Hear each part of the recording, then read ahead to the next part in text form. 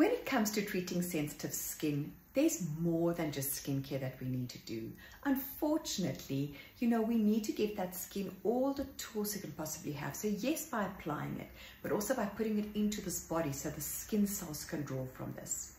Now, of course, my go-to when it comes to supplementation and a healthy lifestyle and healthy diet is Patrick Holford. And from his book, The Optimum Nutritional Bible, which I use as a reference all the time, he recommends that if your skin is sensitive or you suffer with any skin like sensitive diseases or disorders, this is what you need to supplement with on a daily basis.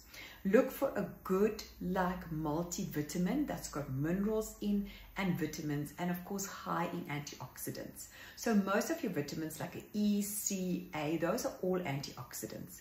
Of course, you can even look for something that's got some bioflavonoids in because bioflavonoids ordinarily are antioxidants as well and they're great to strengthen capillaries because most of the time when you are sensitive, you could even get those little broken capillaries.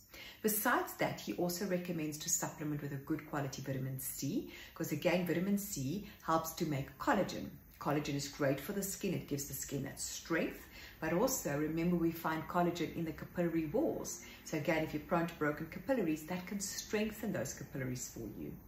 Also supplement with gamma linoleic acid as well as vitamin E. So what you're giving your skin is nourishment from the inside, nourishment from the outside, and lots of antioxidants and minerals to strengthen that skin so that your skin can work at optimum level.